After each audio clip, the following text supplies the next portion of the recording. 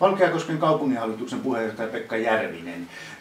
Maanantaina valtuusto käsittelee ensi vuoden talousarvioesitystä, jonka valtu- hallitus hyväksyi tässä alkuviikosta. Mitä arvelet, meneekö budjetti sellaisenaan läpi?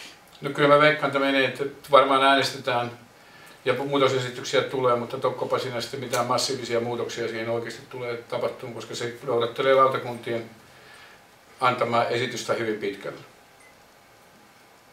Jos arvioit ensi vuoden budjettia, niin mitä näet, mitä hyvä siinä on?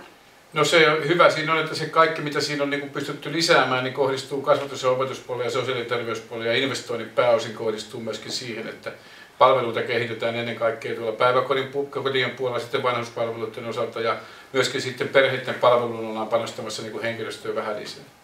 Mitäs huonoa budjetissa on? No huono on tietysti kaikkien näkökulmasta se, että se tarkoittaa kaikkien muiden hallintokuntien osana niin, tota, pientä sisäänvetoa ehkä vähän miinusta ja sitten tietysti henkilöstön osalta niin se tarkoittaa käytännössä sitä, että työtä pitää pystyä tehostamaan. No se ei ole välttämättä huono asia, päinvastoin se on hyväkin asia, mutta sinne ei ole tulossa mitään lisää ja sitten sijaismäärärahat ja muut tämmöiset on varmaan sitten aika tiukalla. Että nyt täytyy vähän katsella kaikkien yhteisesti, että pysytään talousarviossa.